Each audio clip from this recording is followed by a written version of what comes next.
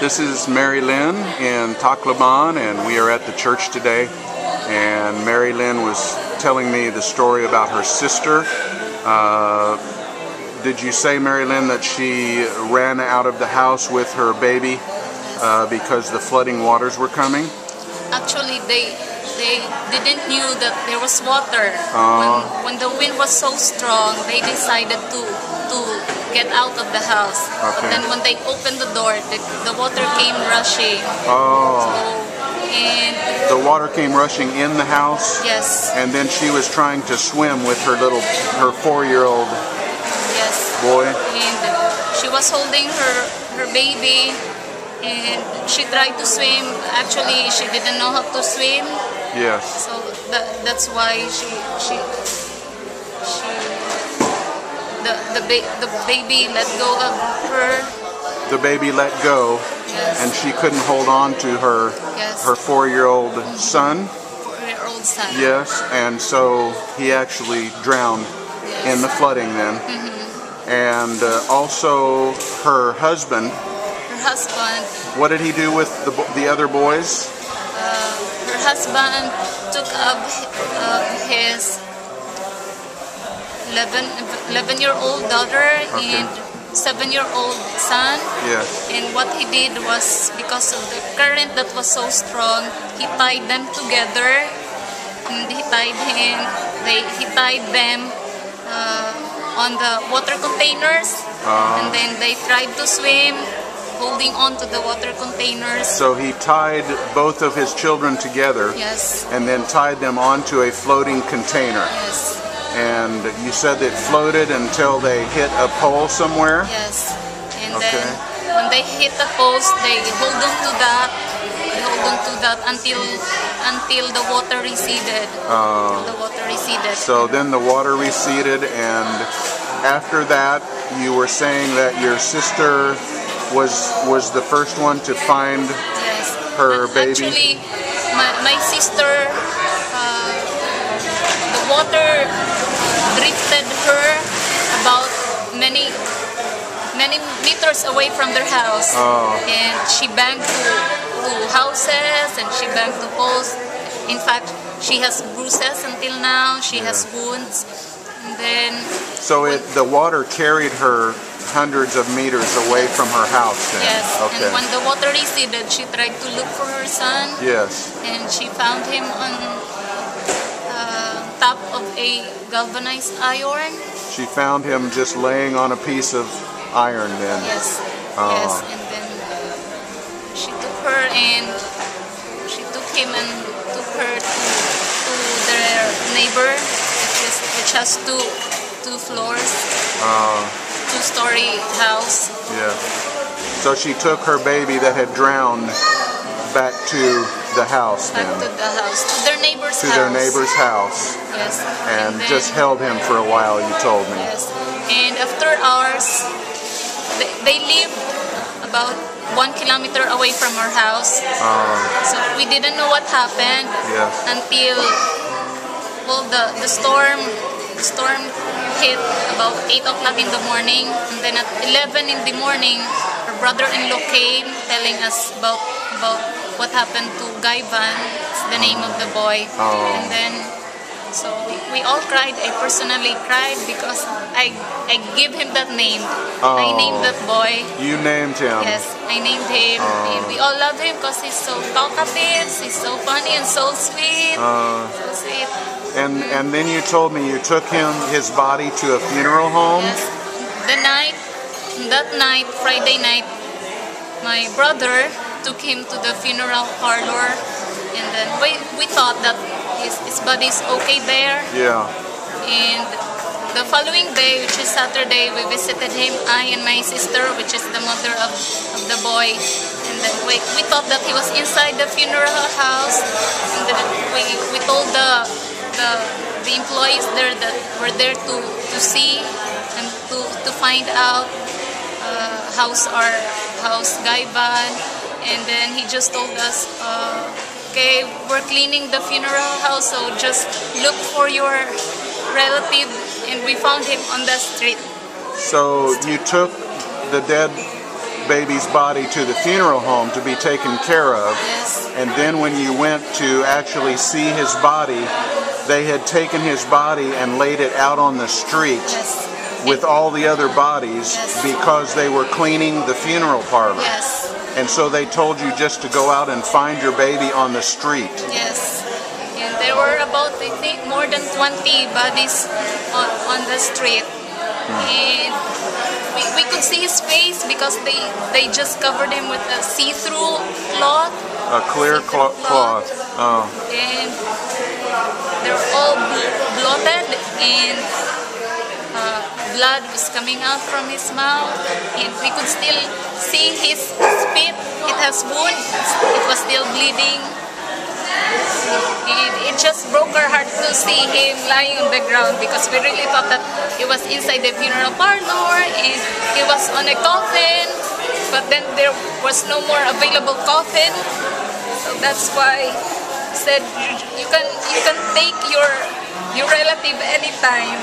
You can take him so you expected to see him in a coffin, yes, and they had put him out on the street yes, in a clear bag, and you you saw him all bloated and Yes. bleeding from the mouth, and just in a very bad shape. Then, yes, and all, all the other dead people yes, there. all the other dead bodies around Yes. him. Most of them were kids. Most of them were kids. Yes. And he was next to an old man. And so that night we went we went home. Of course my my sister was crying so hard. Yes. And I was trying to comfort her and while we were walking back to our house I Yeah. was singing It is well with my soul. Oh. Comfort her and I told her it's okay.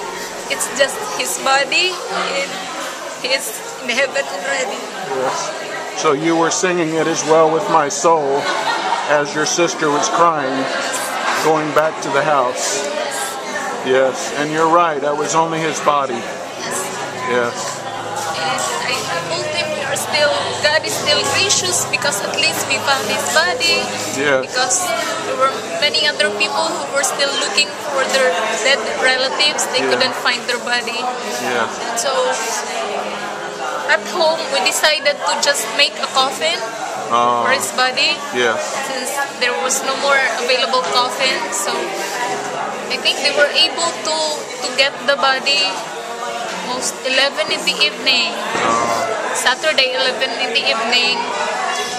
And it was so it was so hard to, to pass along the street because there were so many many garbage and many ruins. So it took him more than an hour to transport the body just walking. Wow. Just walking and And you built, you actually built a coffin for his Yes. little body yes. yourself.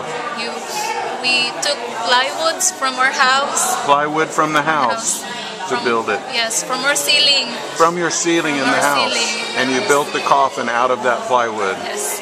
And so I told my I told the family to to just seal it, to just close the coffin. Yes. Because of course the, the blood will still come out. That's what they said in the parlor house, in the Yeah. funeral house. Yes. That uh, it's normal that the that the corpse will will will, will bleed. Yes. So it, it will smell. So we just seal seal the coffin with uh, adhesive tapes like that, and then the following day again we seal it with plastic. Plastic you put over the, the coffin. And it was raining almost every it, it was raining almost every day and my sister's house where we put the dead body the coffin was the the water was dripping Oh. so we put a big umbrella over so it, it will not And have you done have you done anything with the coffin now? we we buried already You buried it? Okay. Yes. Actually, after on Sunday, after three days, we're looking for a place where to bury him because Yes. they, they said that the body should be buried in seven days. Oh, so yeah. we looked for a place to bury him. We came, we went here downtown on Sunday, last Sunday, to to inquire from Yeah. the funeral house across the church, Yeah. and they said we were never been closed for more than since 1950s. We were never been closed. This is the only time that we closed. Wow. So they could not offer any funeral service Hmm. like that. So for for a time we, we felt so hopeless and we felt so you know our heart was broken we could not give him a decent funeral. You couldn't even give him a funeral. Yes. Yes. And so I told my, my sister we only have two choices. We can look for a dry place where to bury him or just hand him over to the military for for mass grave. Yes. And, uh, but of course, if if we turn him over to the military for mass grave, we will, we will not know where he would go. And So you, your options were to find some place to dig a hole yes, or to give him to the military, and they would dig a very big hole and bury him with many other bodies then. Okay. and we were we were kind of thinking of turning over him to the to the military. We thank the Lord for answering our prayer on that same day, or because we thought everywhere in in Leyte was was flooded. Yeah. So we thought that we we could not bury him. But we thank the Lord on that same day. Our relatives from from other towns they came came over and they told us they they don't have flood there. Oh. We decided that we will bring him there instead and bury him that place. So you buried him a little ways off where there was no flooding then? yes, Okay. Uh, we buried him last Wednesday. Last Wednesday. Well, Though it was so painful to lose him, yes. we thank the Lord again for that we found his body and we were able to bury him because So you're thankful to the Lord just that you were able to find his body and then bury him somewhere. yes, Well, thank you. I'm, I'm so grateful that you can share this testimony and even still be grateful to the Lord, even in this tragedy. But, but one thing that that that really makes me sad about this day is after the flood, there's this rumors and commotions about NPAs, about bandits, about robbers. And, Rebels and people causing problems. and for three Yes. nights, we are so tortured in the house. Uh, Yesterday, we sent our kids to, to Cebu Oh. because I think on Friday there was commotion, great commotion that everybody in our barangay was was running and our neighbors came and telling us the news that there are rebels, the NPAs. so everybody was uh, running away from Yes. something and told you that there were rebels and criminals. And we all and we all climbed up to our ceiling. We all climbed up. There were more than ten of us. We all Yeah. climbed up to the ceiling. We were all shaking in fear because we, we heard this this news that band, uh, rebels uh, they they they come to to kill They come to kill people and get food and like that and steal and whatever steal. you have. Yes, and every one of us was there. My, my entire family. We have around nine kids. Wow. Yes, and we were all shaking in fear, every one of us. And then our the men in the house they they took arms and they were guarding us and. and because of fear, and then it the it calmed down, calmed down. But then after many, after a few hours, another neighbor would come, get out, get out. Let's let's run instead. Let's run instead. And then ah. my my sister, she, she couldn't, she doesn't want to leave the house because of fear, and uh, I I decided to to be with them. So we stayed in the roof, the ceiling with my sister-in-law who has a, a rheumatic heart. You stayed up in the ceiling in your house to get away from the rebels and the bandits? Yes, because Okay. my, my sister-in-law has a, a rheumatic heart, and my sister who has a one-year-old and a three-year-old, one-year-old boy and a three-year-old daughter, she said, we, we can run, we can run. It's still flooded in our house. Yes. It's still flooded. So said, she said, oh, just stay here. So the whole night, we're shaking in fear and praying, and their baby was one year old, and my my other niece is three years old. We slept, we slept on the ceiling. Mm. And then the other members of the family went down and they were running to and fro, mm. Whatever the, the men would tell them. All scared still. Yes, yes. I said, Lord, this is too much. Yes, yes. We, we thank you for allowing us to survive the storm, but then the, the trauma But this is this is too this much. is too much, Lord. Yes. We can't sleep until now. Yes. And now there's only four of us who is left in the house. Mm. We took our the kids outside Tacloban. They're in Cebu. Others are in Davao. My sister who lost her son is in Davao now. Okay. There are only four of us. My Yeah. mother who has a heart problem. My father who is half paralyzed. Yeah. She had he had stroke due, due to hypertension. And myself, and then another cousin. In last night, my the middle of the night, my mother woke up because she thought there were rebels coming in because we, we could hear noise, but actually it was just our roof Oh, uh, which was uh, that's making a noise because due to the damage of the storm and she woke up in the middle of the night waking my my brother is still there waking my brother rebels rebels so even last night, uh, she last thought night, rebels it's- were it's coming to days. steal and to kill you. it's been three days that we're living in in trauma Yes. torture and even, even if you're not afraid you will become afraid because everybody in the in the barangay in the street Yeah. men are men are staying outside to guard they're making barricades of fire to protect the, the barangay the people from from those one And and you are here in church with us today. yes And Marilyn, I just I just want to ask you, after all of this hurt and trauma,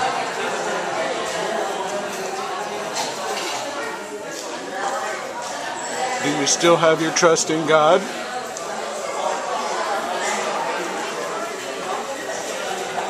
I, I'm trying to be strong for my family before it was hard to see them living Yes. we were separated from each other to protect the kids. Of course, they all tra- they were all traumatized. Yes. We start to see them living. Before they left for three nights, we were having family devotion. I was ah. leading the family devotion. You were leading family devotions. And Yes. I, I was trying to be brave for them, Yes. Then I'm also shaking in fear. Yes. In fact, for three nights after Gaivan died, for three nights I couldn't sleep Yes. after seeing many dead people. Yes. But then I said, Lord, I want to be brave for my family. I want to be strong, to model them the kind of faith that you want us to have. So I tried to lead the family devotion. But So you were trying to be strong to show that that God was giving you the faith to stand through it then.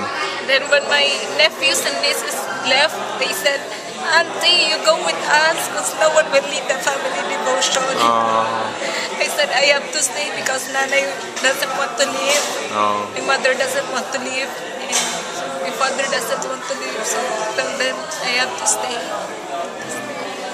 so you're still you're still trusting God. Yes, and it's my prayer that God will still use me. Before the storm happened, I, I attended a discipleship seminar and I was so excited to Uh-huh. make plans for the campus ministry. And I said, Lord, it's so different now. Yes. And every day I'm thinking, today is Friday. I am supposed to have a discipleship class. I miss my young people. Yes. I miss my But my God still has a plan for you through all of this. And it's my prayer, Lord, I, I have to do something. I I should have a ministry. Yes. I should not be like other people who's just every day thinking about what to eat, Yes. Uh, so occupied with so many things to do. I said, I want to have a ministry. And in fact, I, I really tried to come today because my mother doesn't want me to leave. She said there's so many clothes to wash. There's they're all in the mud. My my my all my clothes are in the mud. And I said no, it's Sunday. I should be sad. Should All of your clothes are all filled with mud, yes and she wanted you to stay home and wash. yes. But you felt in your heart that you needed to come and worship today. Mm-hmm. And I said, I will come after, I will go home after lunch because after church I will visit my other church mates and try to try to check how what they are doing. Would you, do you have any favorite verse in the Bible that One you, of the verses that I led, I, I shared in the family devotion was before uh, I I was asking myself, why is Psalm 27 1 my favorite verse? It says, The Lord is my light and my salvation. Of whom shall I fear? The Lord is the strength of my life. Of whom shall I be afraid? I said, why, why do I like this verse a lot when there's nothing to fear? yes, When I feel that I- I'm not, I'm not a fearful person. uh-huh, But then, when when this when times like this, Yes. that's when I realized that I, I need this verse so much. that's why you needed that verse. That's why God had placed it in your heart so heavily. Well, thank you for sharing today. It's it's so special to me to be able to hear your testimony of going through all of this and still wanting to serve God and love Him. So uh, we we our prayers will be with you, Marilyn, and with your sister who lost her little one. And uh, may God use you all in a in a very special way now.